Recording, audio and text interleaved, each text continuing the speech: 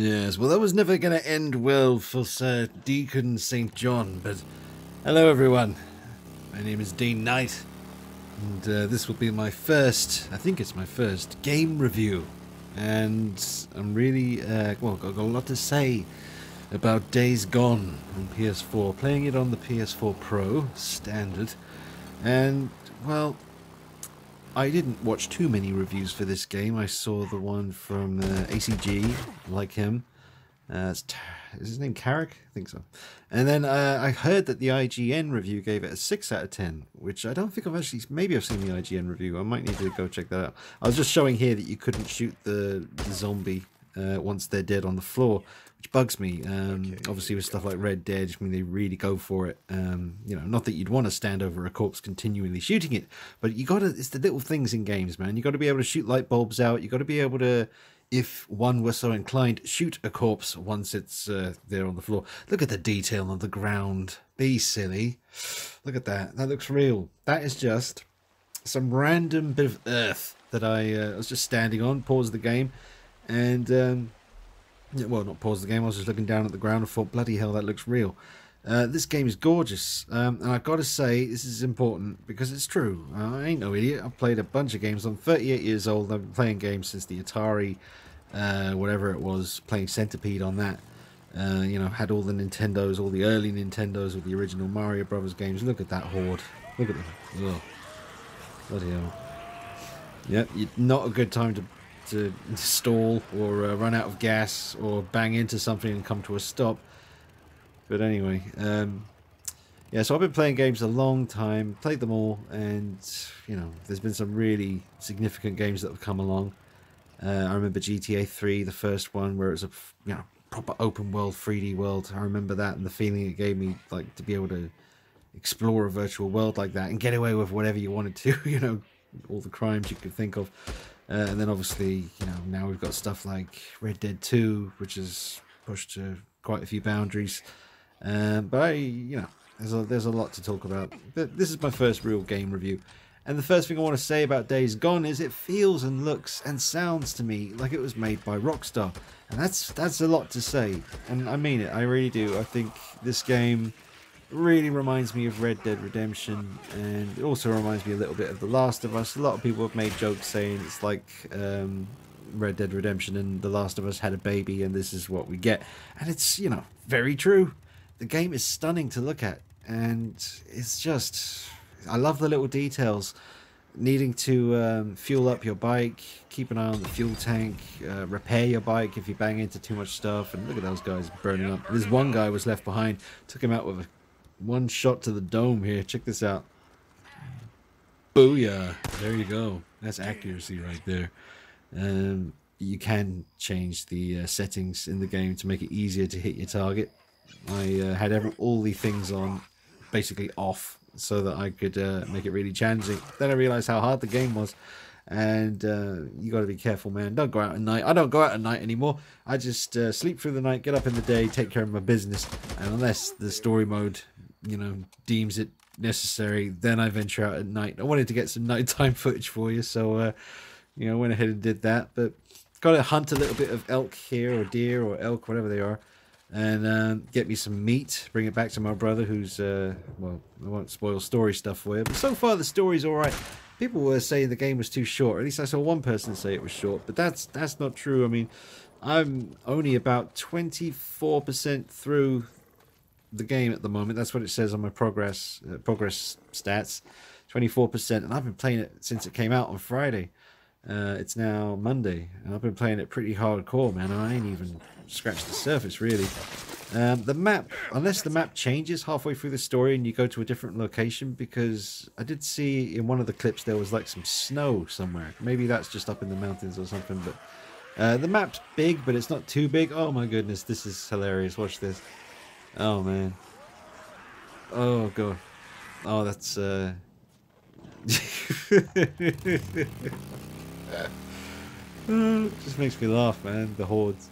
There's another one. Oh, this is a uh, oh shit. This is one of those oh shit moments. Uh, it's not really a review. It's me just watching what the foot the, the footage I've captured and talking about it with you. Uh, but I will give you a review at the end of this, trust me. Or I'll give you a score or something. Anyway, check this out. I'm looking at the zombie horde. They're all walking along and thinking, okay, I'm just far, you know, I'm far away. They're not going to see me. I'm in the long grass here, so I'm hidden.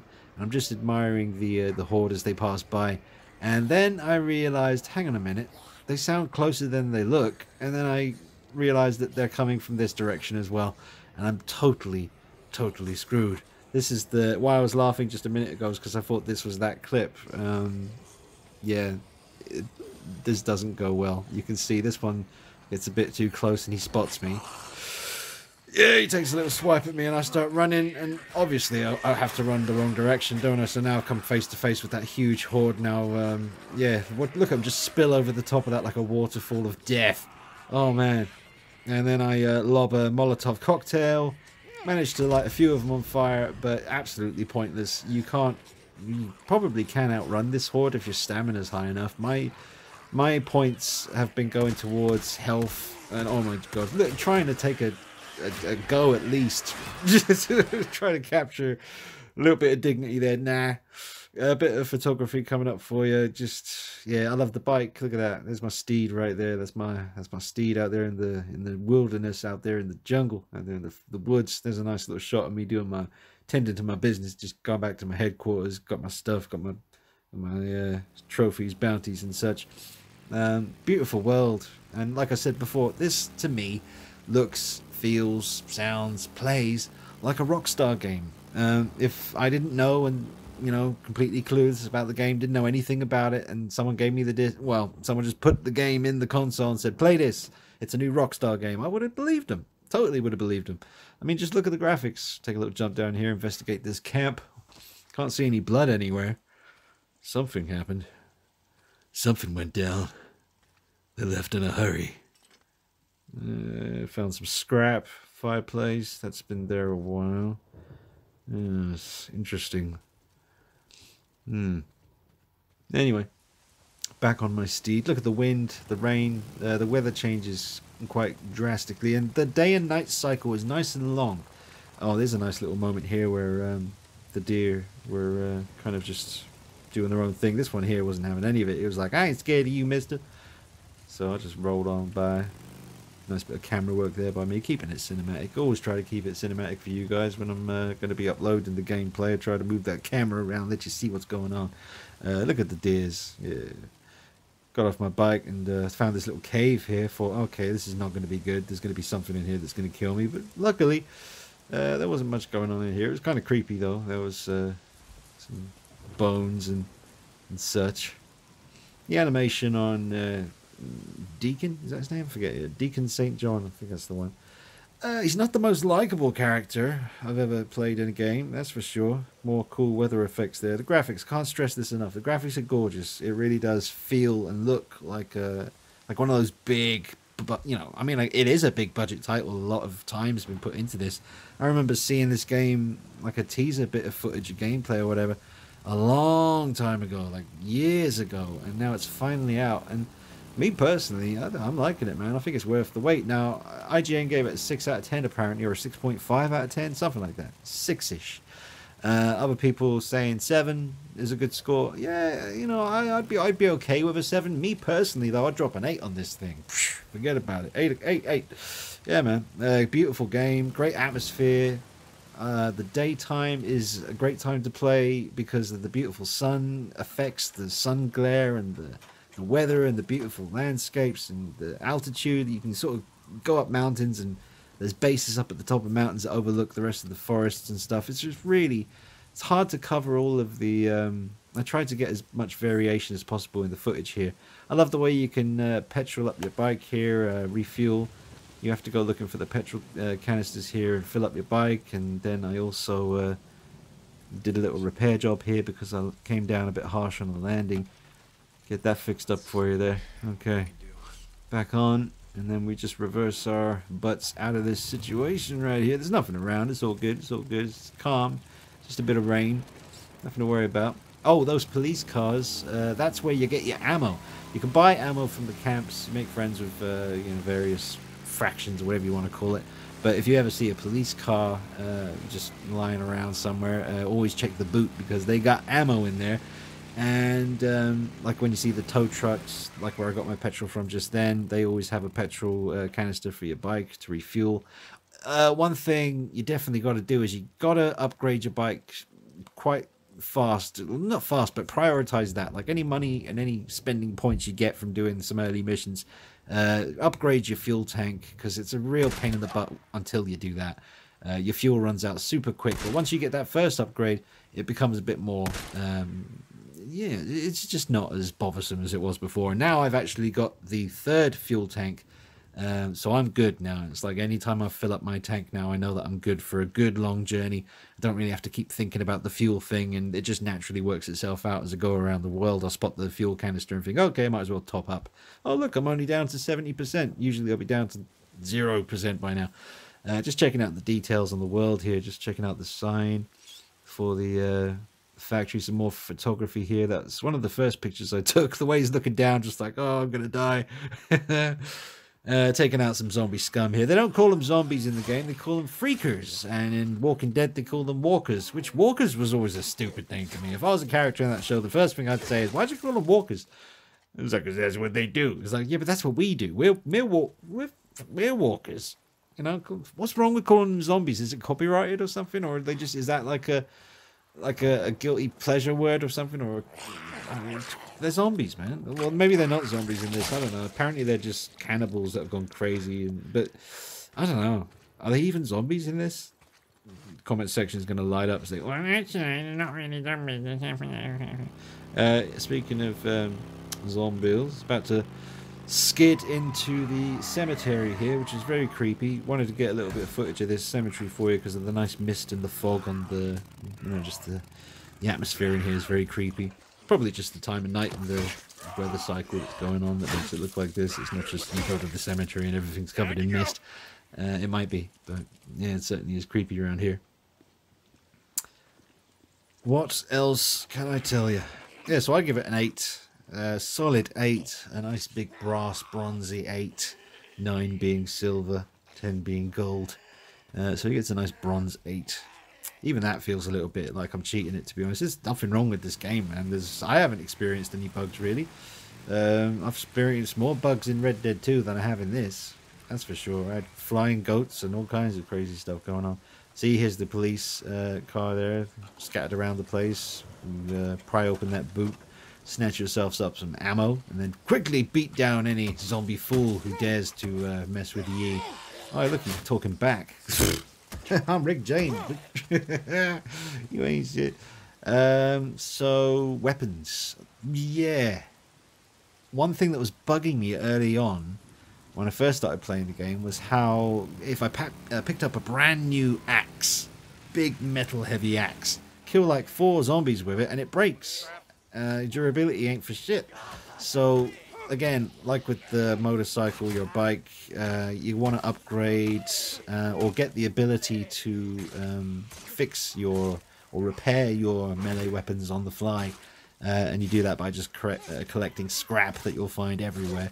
Uh, so now if I find a cool melee weapon that I really like, uh, at least I can fix it when I get a spare minute and just bring it right back up to 100% you know, freshness and yeah, can just carry on using that weapon. So everything that was bugging me in the beginning uh, is all stuff that you quickly upgrade and gets rid of the frustration of it, you know, very quickly, and you're just left with a very atmospheric, gorgeous, brilliant game that just a lot of the time will make you think of Red Dead. It's just the setting and the fact that it's very much the relationship between your bike and you just the way it was your horse and you in the game of Red Dead. It's just the Harley, or no, it's not the Harley, but it sounds like a Harley to me. I don't know Jack Diddley about bikes, but maybe you can get a Harley later on. And remember, I'm only about 24% through the game, so I don't know if I can really review something when I haven't even finished it yet. But it's a big game, man.